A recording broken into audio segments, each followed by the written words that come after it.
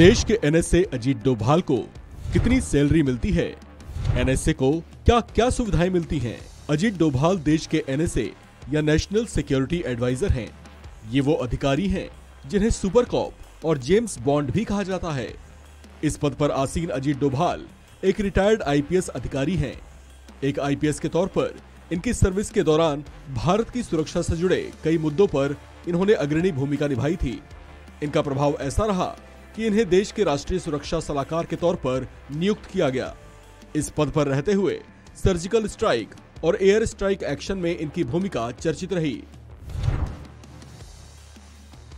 भारत में राष्ट्रीय सुरक्षा सलाहकार का पद हमेशा से नहीं था।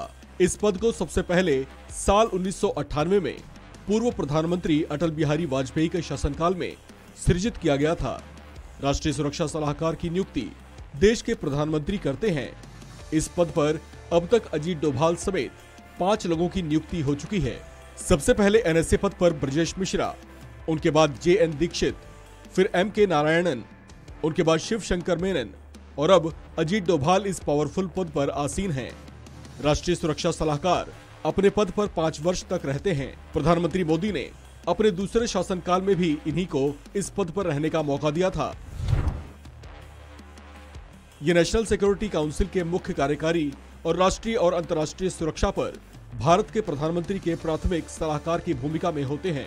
भारत की इंटेलिजेंस एजेंसी जैसे कि रॉ, या रिसर्च एंड एनालिसिस विंग और आईबी या इंटेलिजेंस ब्यूरो प्रधानमंत्री द्वारा नियुक्त राष्ट्रीय सुरक्षा सलाहकार को ही रिपोर्ट करती हैं। ऐसे में एनएसए की भूमिका बड़ी अहम बन जाती है। इसी वजह से नेशनल सिक्योरिटी काउंसिल ब्यूरोक्रेट्स के मामले में सबसे प्रमुख और पावरफुल ऑफ़िस माना जाता है। इन्हें मिलने वाले वेतन की बात करें तो आईबी के जाबाज अफसर रह चुके अजीत डोभाल, जो इस समय एनएसए के शक्तिशाली पद को संभाल रहे हैं। उन्हें प्रतिमाह एक लाख बासठ हज़ार पाँच सौ रुपए वेतन के तौर पर मिलते हैं। इन्हें मिलने वाली सुविधाओं की बात करें तो उसका स्पष्ट तौर से कहीं पर उल्लेख नहीं मिलता। हालाँकि बताया जाता है कि इन्हें प्रधानमंत्री कार्यालय के वरिष्ठ अधिकारियों के समान ही सुविधाएँ मिलती हैं। अजीत डोभाल के शानदार करियर और उनके शौर्य की बात करें तो इन्हें अपने उत्कृष्ट सेवाओं के लिए पुलिस मेडल से सम्मानित किया गया था।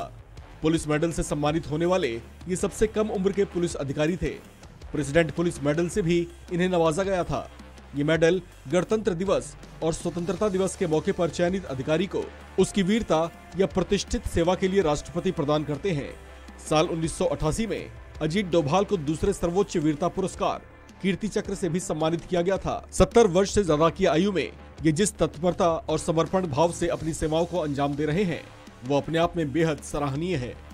इस खबर में फ़िलहाल इतना ही। बाकी अपडेट्स के लिए बने रहिए वन इंडिया हिंदी के साथ।